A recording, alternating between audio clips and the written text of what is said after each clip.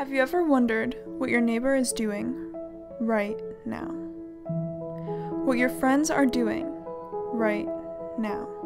What strangers across the world are doing right now? Looking at you, Ethan. You have my undivided attention. Hi, divide your attention a little bit.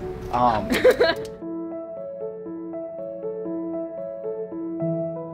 You want to be in a queen's chair again?